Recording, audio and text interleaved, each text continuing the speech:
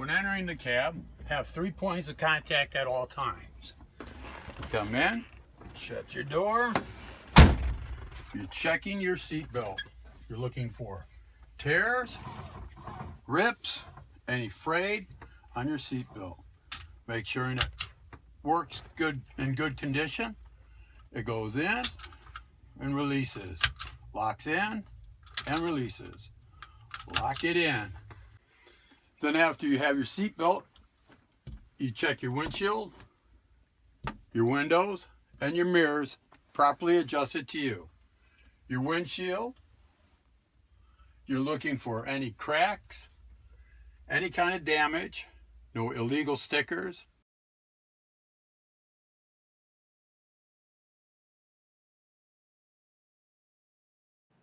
doing a safe start, clutch all the way in, and the gear shift in neutral. When starting it up, you're looking for your ABS lights to come on and off. Your tractor, there was your trailer. Next, we're looking at the oil pressure on the rise and adequate for this truck.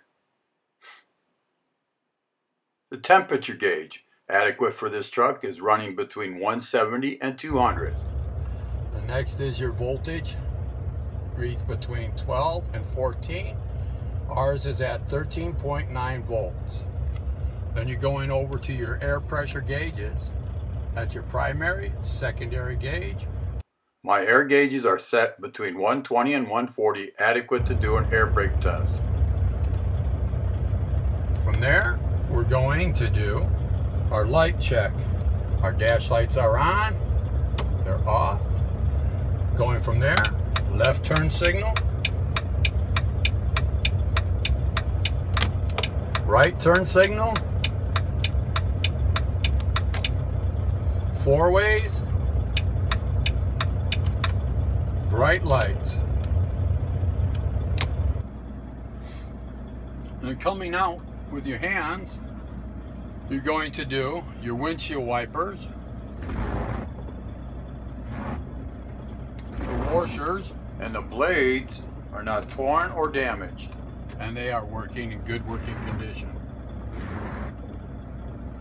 Coming back out, your highway horn, your city horn. On a 20 inch wheel, no more than two inches of play.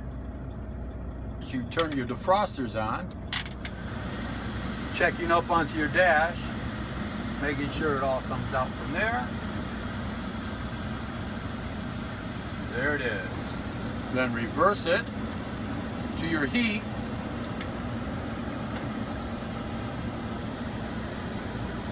on the floor. And there it comes out. That was a good test. Now we're going to do our brake test. What you're going to do is put your truck in gear, in a low gear, turn your truck off, let your clutch back out, turn your key back on for your gauges to work, and re release your brakes. This is the part of sail is S, letting all your air settle.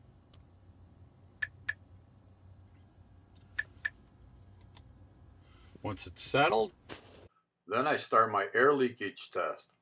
Hold my service brake down for one minute and not lose more than 4 psi in that one minute.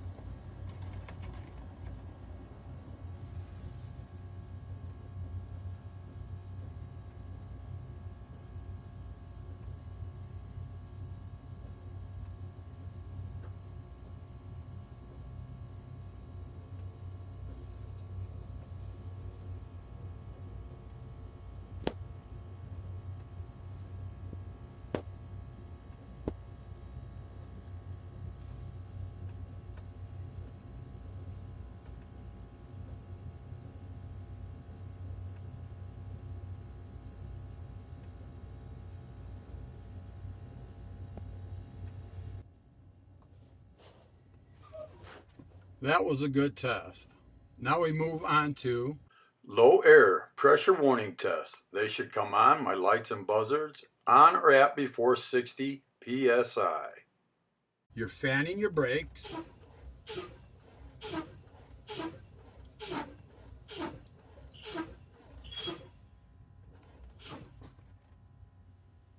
There's one, two, and you light up here.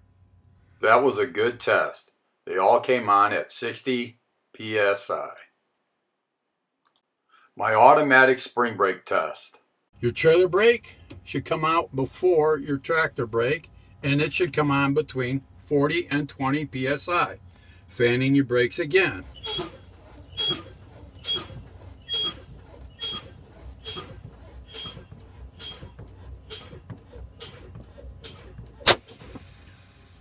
That was a good test. Do a safe start, clutch in, and shifter in neutral. Checking again, your ABS lights come on and off. For my air governor to cut in and cut out and test. I'm going to raise the RPMs up between 10 to 1500 RPMs. 1500 RPMs. I'm checking for my air governor to kick in. My needles are moving, so my air governor kick in is working good.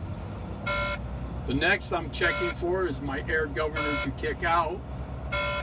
That should be between 120 and 140 psi.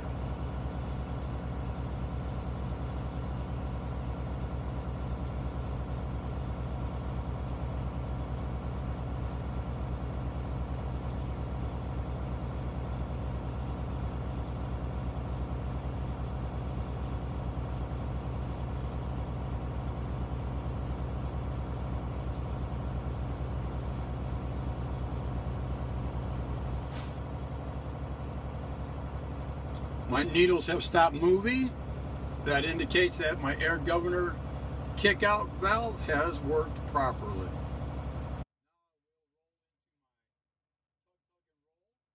Start my parking brake test.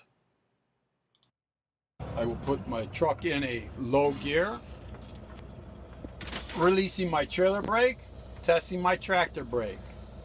I'll give it a little tug there you go. That's a good test. Reverse it. I'm testing my my trailer brakes. I'm pressing my tractor brakes. There you go. That's a good test. Now I'm going to do my service brake test. It's your service brake on the pedal down there. You put your hands at the three and nine position. You're checking to see if the tractor will pull to any position and your dip at any position and you're looking for your ABS lights to come on or off. If they do, you would take it into a shop. Roll up five miles an hour and press your service brake.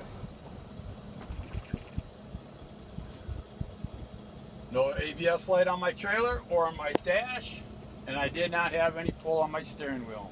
So that concludes with my air brake test.